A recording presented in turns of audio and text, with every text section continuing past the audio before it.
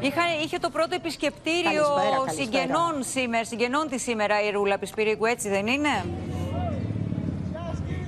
Ακριβώς μετά από τέσσερις ημέρες, για πρώτη φορά σήμερα την επισκέφτηκε ο πατριός, η μητέρα και η αδελφή της, όπου της έφεραν προσωπικά αντικείμενα, μία τηλεόραση, μία κεραία, καρτο, ε, τηλέφωνα, κάρτες για το τι- καρτοκινητό τηλέφωνο, αλλά και χρήματα, γιατί γνωρίζαμε ότι δεν είχε χρήματα μαζί της, αναγκαζόταν και έτρωγε από το μενού της α, φυλακής, ενώ τώρα θα μπορεί να αγοράσει και κάτι από το κηλικείο.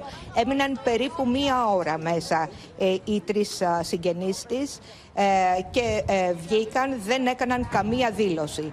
Μέσα παραμένουν Αυτά οι είναι δύο τα πλάνα δικηγόροι. που μας έχει στείλει. Να πω Μάριον, Ε, πείτε μου από το κοντρόλ, αυτά που βλέπω είναι τα Ακριβώς, πλάνα ακριβώς. που α- η, η μητέρα και η αδελφή την ώρα που μπαίνουν μέσα για το πρώτο αυτό επισκεπτήριο ή όχι, δεν διακρίνω. Όχι, δεν είναι αυτά. Λοιπόν, έλα.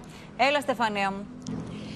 Να πω Μάριον, οι πληροφορίες λένε ότι η μητέρα και η αδελφή α, της α, Συγγνώμη Ρούλας Στεφανία, Πισπυρίκου αυτά της είναι τα έδωσαν να πλάνα, διαβάσει. έτσι τα πρωινά, με συγχωρείς, αυτά είναι τα πλάνα. Εγώ διακρίνω τον, ο, δικη- τον ένα δικηγόρο, τον κύριο Όθωνα Παπαδόπουλο. Αυτά είναι τα πρωινά πλάνα. Ναι. Η αδελφή Είναι της και οι είναι δύο πίσω. δικηγόροι και ακολουθούν ε, η μητέρα και η αδελφή. Ακριβώς. Μάλιστα, έλα, έλα Στεφανία.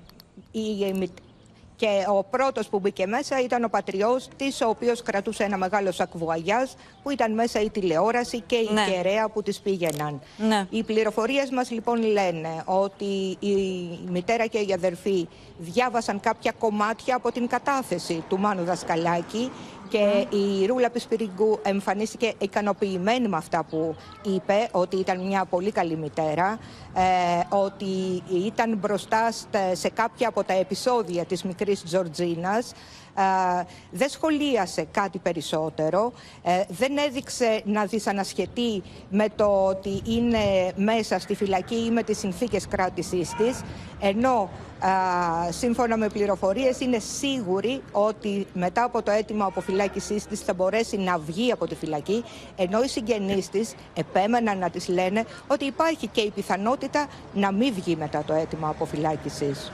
Ναι, τώρα Να πούμε αυτά επίσης, θα δούμε Μάριον, τώρα ότι τι σήμερα- νέα στοιχεία έχουν συλλέξει οι δικηγόροι και πού θεωρούν ότι υπάρχουν κενά κατά τη δική τους την α, αντίληψη και άποψη για να κάνουν αυτό το αίτημα αποφυλάκησης μόλις τρεις, τρεις μέρες μετά την α, προφυλάκηση της α, Ρούλας Πισπυρίγκου. Θα το συζητήσουμε και στη συνέχεια της εκπομπής εδώ με δικηγόρο. Έλα Στεφανία.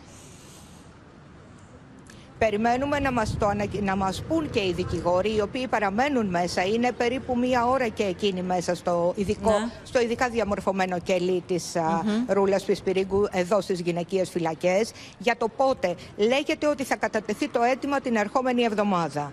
Να πούμε τώρα ότι σήμερα το πρωί στο κατόφλι του 18, της 18ης ανακρίτριας α, στην Ευελπίδων πέρασε ο Ανδρέας Ηλιάδης. Ο Ανδρέας Ηλιάδης είναι ο προϊστάμενος της εντατικής του παιδιατρικού τμήματος του Πανεπιστημίου της, α, του νοσοκομείου του Ρίο.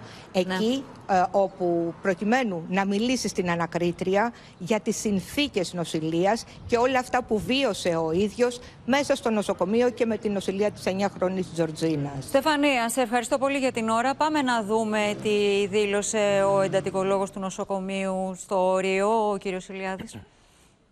Η Τζορτζίνα ήταν ένα παιδί το οποίο πολεμήσαμε μαζί. Να σας θυμίσω ότι μετά την δραματική διάσωση που έλαβε χώρα στο παιδιατρικό νοσοκομείο της Πάτρας κληθήκαμε με τη δική μου ομάδα από την μεθπαίδων του Πανεπιστημιακού της Πάτρας α, να φέρουμε εις πέρας σε ένα πάρα πολύ δύσκολο έργο. Είμαι στη διάθεση της ανακρίτριας και θέλω, όπως έχω δώσει τον όρκο του Ιπποκράτη, να πω την αλήθεια και μόνο την αλήθεια.